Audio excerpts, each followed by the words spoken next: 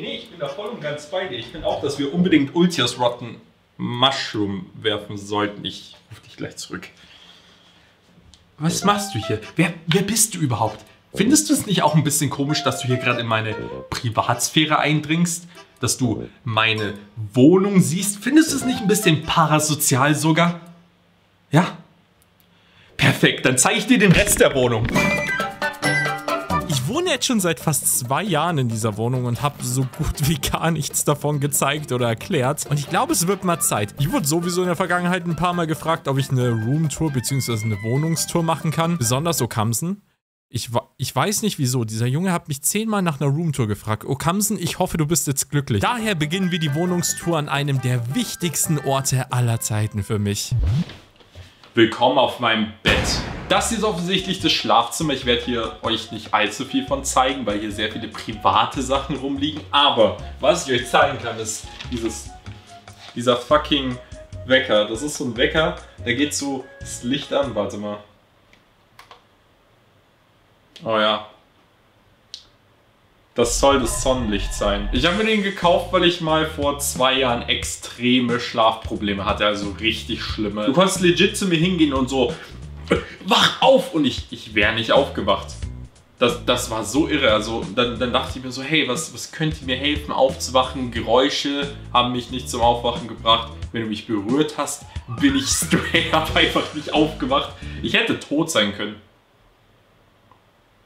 Auf der Seite ist der Kleiderschrank, den ihr gerade nicht seht, weil ich will euch nicht meine Unterhosen zeigen, um ehrlich zu sein. Was allerdings noch neben diesen Unterhosen, Socken, ganz normaler Kleidung noch in meinem Kleiderschrank drin ist, Kostüme. Ich habe jedes Kostüm, das ich jemals in meinen Videos benutzt habe, bis heute noch. Und irgendwie keinerlei Zweck mehr für die, weil ich mir die meistens einfach nur gekauft habe, um einen fünfsekündigen Witz zu machen. Und jetzt nehmen die die Hälfte meines Kleiderschranks ein, weil ich das Gefühl habe, ich werde die irgendwann noch brauchen. Ich sollte echt einen besseren Platz für den ganzen Scheiß haben. Dann habe ich bei diesen Kostümen noch diese Puppe von mir, die ich manchmal wegwerfe. Ein Billo S Greenscreen. Wow, was ich da wohl nur eingeblendet habe. Und noch ein Greenscreen. Oh mein Gott, das hat, wer blendet denn sowas bitte ein? Aber ansonsten ist es halt ein fucking Schlafzimmer, so ich penne hier. Insgesamt also ein wirklich uninteressanter Raum für euch. Perfekt, dass ich damit das Video gestartet habe. Die Zuschauerbindung liegt jetzt schon bei 20%. Also sollten wir jetzt schleunigst in den wohl interessantesten Raum der kompletten Wohnung gehen. Gehen wir nun zum Wohnzimmer über. Das ist also der Raum, in dem ich mich zu 90% der Zeit befinde. Mein wundervolles, nach Zweck eingerichtetes Wohnzimmer und ich weiß genau, was ihr euch jetzt vermutlich fragt. Was ist das für ein krasser Ventilator? Yo, der ist so, so krass. Oh mein Gott. Bist du der Ventilator? äh, ja, okay, der Pappaufsteller das ist Germi, ein YouTuber und Streamer und außerdem ein super toller Mensch, beziehungsweise Freund von mir, der in gewissen Kreisen einen Legendenstatus besitzt. Also wirklich, er war wortwörtlich Platz 1 der Twitter-Trends, ohne einen Skandal. Könnt ihr das von euch auch behaupten? Ich glaube nicht. Es ist ja fast schon Gesetz, dass ein Streamer einen Pappaufsteller von irgendeiner Person im Hintergrund hat. Und da dachte ich mir, hey, Germi. Und tada, Germi als Pappaufsteller. Der hat mich mehr als 100 Euro gekostet. Und meine Familie findet es merkwürdig. Mein Vermieter auch. Aber wisst ihr, was ganz so gar nicht merkwürdig ist? Dieses Treppenregal voller verschiedener Sachen. Unter anderem Zeug, das ich von euch geschenkt bekommen habe. Hier ist zum Beispiel eine Mario Bros. 3 Lampe, die ich vor Ewigkeiten mal bekommen habe. Also da war ich bei meinen Eltern noch zu Hause. Aber auch ein aus Bügelperlen gemachter Link auf einem Triforce und mein legendärer Among Us Skin, den ich immer benutzt habe. Ebenfalls mit Bügelperlen gemacht. Voll cool. Eins weiter oben ist hier eine Ocarina, die ich auf der Gamescom geschenkt bekommen habe. Ein süßer Mario-Hut aus Papier, den ich bei Zeus Filmpremiere in München bekommen habe. Dann mein Mario Odyssey-Skin, den ich in den Hide-and-Seek-Runden mit Hübi, David und Vic immer wieder äh, benutzt habe. Der ist auch aus Bügelperlen gemacht. Und ich in Glas. Die Stufe danach finde ich besonders cool, weil hier ist jeder Gegenstand eine Anspielung auf ein altes Hauptkanalvideo von mir. Also wir haben da Mike aus dem Family Party Video, die Krone aus dem Burger King Video, die DK Bongos aus dem DK Bongo Video logischerweise. Hier ist dann noch die Brille von meinem Game Design Ich, die Uhr, welche Tingle um seinen Hals herumträgt und selbstverständlich Doshin the Giant. Den hat mir Andra, also jemand aus der Community, einfach selbst geschnitzt und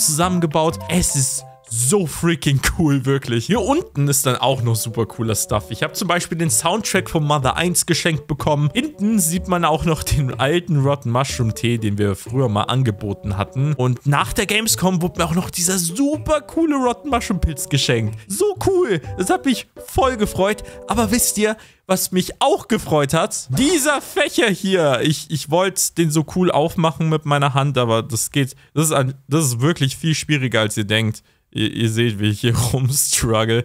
Und äh, mir war warm. Ich musste einfach den Fächer benutzen, weil ich den schon in der Hand habe. Der Fächer war von Lena Vanille. Die hat mir den auf der Dokumi geschenkt. Und ich will ja nicht angeben, aber anscheinend ist sie sogar der größte Shimtex-Fan aller Zeiten.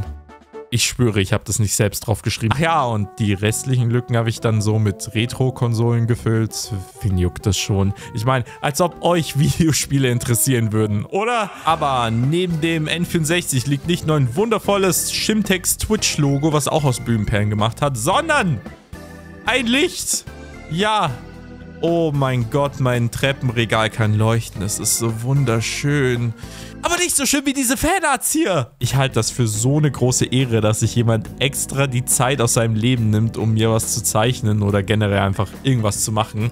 Und als ich zum ersten Mal ein physisches Fanart in die Hand bekommen habe, dachte ich mir, hey, das wäre doch cute, das irgendwo aufzuhängen.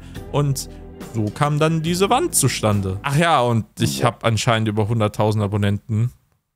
Cool. Aber wie sieht das alles aus, wenn ich mich auf die Couch davor setze?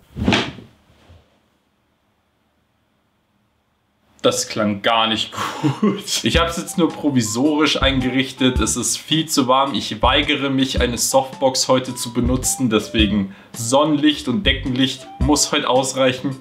Billo, Mikrofon muss ausreichen. Es ist warm.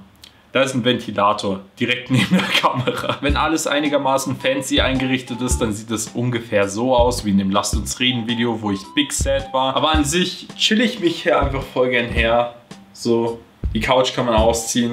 Also, wenn wer vorbeikommt, bitte kommt nicht vorbei aus, ich kenne euch. Wenn jemand von meinen Freunden hier vorbeikommt, dann kann man die Couch ausziehen und darauf pennen und die ist wirklich wirklich cozy. Also würde ich alleine leben, könnte ich locker einfach nur dieses Zimmer hier haben und auf dieser Couch schlafen. Das wäre für mich kein Problem, weil ich hier ohnehin 99% des Tages verbringe. Aber leider nicht auf dieser Couch beim Videospiele spielen. Ich wünschte, es wäre so, ja. Ich kann es euch mal zeigen, wie es gerade von meiner POV aussieht. Hier ist die Switch, hier ist ein Gamecube, hier ist eine PS2, hier ist meine Wii U, hier ist eine PS3, da ist Ring Fit, und mein Wii Balance Board, weil ich jeden Tag Sport mache mit denen. Ich bin ripped quasi, okay? Und in diesen Schubläden sind halt so Controller, man sieht sogar ein bisschen durch. Ist auch Kabelchaos, was ironisch ist, weil ich mir eigentlich so Beutel gekauft habe, damit ich kein Kabelchaos habe. Aber dann war ich zu faul, diese Beutel zu benutzen und jetzt ist in jeder Schublade Kabelchaos. Dafür, dass das ein Handy... Ich habe die Handyaufnahme nicht gemacht! Also für euch waren jetzt Handyaufnahmen da, aber ich muss, ich musste jetzt alle nachträglich nochmal filmen. Ach, Bro, ey. Aber Timo, fragt ihr euch, was für Videospiele spielst du denn? Na dann, kommt mal mit. Willkommen beim Schrein der Jungfräulichkeit mit Hit-Titel wie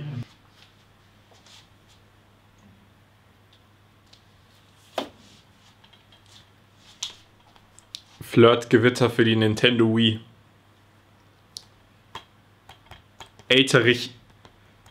Elterliche Beratung empfohlen. Das sind also alle physischen Spiele, die ich besitze, hauptsächlich Nintendo Games, weil ich bin mit denen aufgewachsen und viele aus dieser Kollektion, sage ich mal, sind auch noch aus meiner Kindheit. Ich bin ehrlich gesagt überhaupt kein Sammler mehr, seitdem ich ausgezogen bin, weil ich tatsächlich jetzt auf mein Geld achten muss und nicht einfach hunderte von Euros für fucking Gamecube-Spiele an Ebay-Verkäufern abgeben will. Aber ja, ich bin actually am überlegen, irgendwann mal einen Haufen Spiele zu verkaufen. Ich glaube, meine seltensten Games sind Paper Mario 2, einfach weil What the fuck, eBay-Verkäufer, was ist mit euch los? Und die Zelda Collectors Edition für den Gamecube, die konnte man damals nicht mal kaufen. Man hat es nur über meine Nintendo-Punkte bekommen.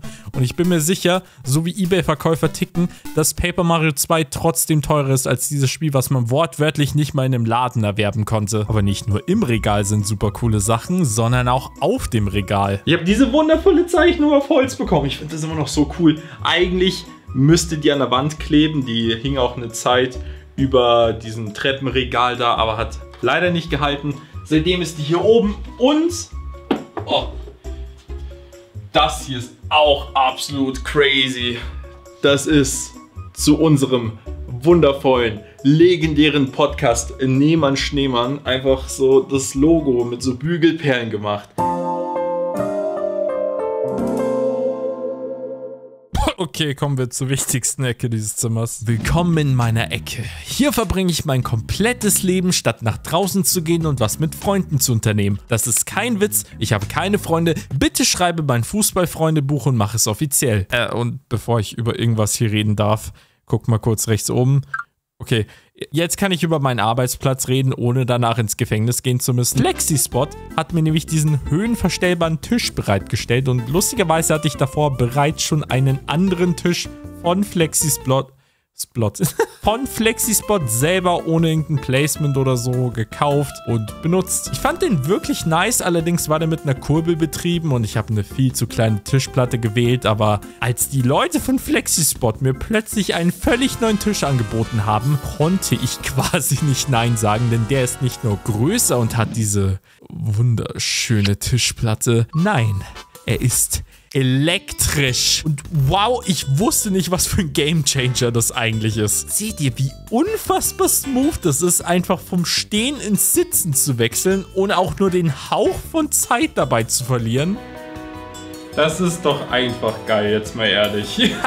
du sagst es, Shimtext. Es ist halt Real Talk gesünder für mich, weil ich dadurch im Stehen an Videos arbeiten oder auch streamen kann. Ansonsten würde ich halt zu 80% des Tages einfach nur sitzen und langsam aber sicher eine Schrimpformation einnehmen. Das Modell, das ich habe, ist by the way das E7-Tischgestell. Ihr könnt das super geil im Shop nach euren Wünschen anpassen und auch Zubehör dazu packen. Also ja, falls ihr euch den auch kaufen wollt, der Link dazu ist ganz oben in der Videobeschreibung. Ich habe, wie gesagt, in der Vergangenheit auch schon FlexiSpot-Produkte benutzt und ich bin jetzt sogar noch zufriedener.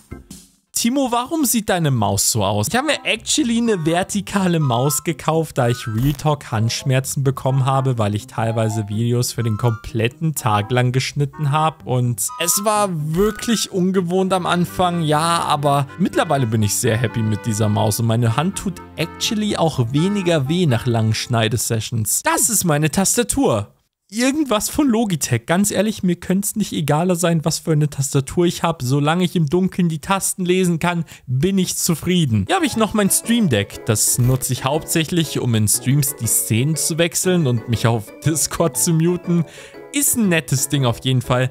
Genauso wie das Go XLR, wo mein Mikrofon drin steckt, ich vier verschiedene Audiokanäle besitze und durch diese ganzen Tasten dort sowas machen kann. Ich benutze ein Shure SM7B. Ich bin ein Stunny-YouTuber. Es ist ein gutes Mikrofon, ihr hört es gerade, aber bei Gott, wenn ihr mit Content machen gerade erst anfangen wollt, kauft euch das nicht, weil es jeder tut. Selbiges übrigens für meine Kamera. Sie wäre eigentlich dort, aber ihr seht sie nicht, weil ich mit ihr gerade filme. Das ist aber eine echt gute Kamera, Timo. Ich glaube, ich werde mir die auch mal kaufen, weil du sie bist. Oh mein Gott! Das sind zwei Bildschirme. Ich habe absolut keine Ahnung, welche Bildschirme das sind, aber sie schirmen ein Bild und das stellt mich zufrieden. Ich kann die sogar so vertikal hindrehen, weil die auf so Armen drauf sind. Die Halterung davon ist by the way auch von...